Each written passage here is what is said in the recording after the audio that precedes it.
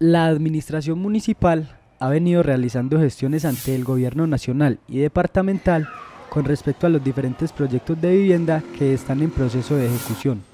Esto para que los granadinos puedan acceder a los programas que se están ofreciendo por parte del Estado. Uno de ellos es el programa de las 100.000 viviendas gratis. El municipio presentó tres lotes, de los cuales pues nos avalaron uno, que es donde se eh, ubicaba antiguamente la cárcel. Eh, se tiene pues proyectado inicialmente que se puedan desarrollar 16 apartamentos. Estos 16 apartamentos estarían bajo eh, la tutela de, de los 10.000 cupos que fueron asignados para Medellín, aparte de los 3.000 y pico que había recibido el resto, que recibió el resto de, de Antioquia. Estamos hablando pues de, de cupos del programa de las 100.000, ¿cierto?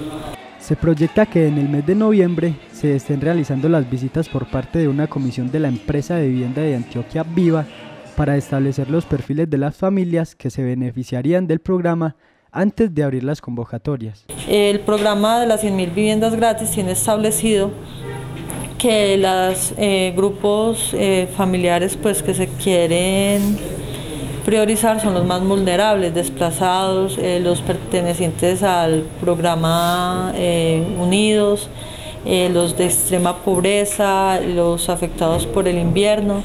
Entonces, como en este momento tenemos 16, únicamente 16 unidades de, de, vivienda, 16 cupos, entonces se va a hablar pues como ese tema, cuál sería o cómo se haría esa selección de beneficiarios. Digamos en el otro tema, bueno, el otro son los programas eh, de vivienda con Banco Agrario, que ellos eh, abrieron una postulación permanente que se cerraría el 15 de diciembre, eh, pero como han sido tantas, pues fue tan poca la asignación para la cantidad de proyectos que se han presentado, solamente hasta el próximo año se sabrán eh, quienes eh, fueron los municipios y las familias favorecidas con, con estos programas.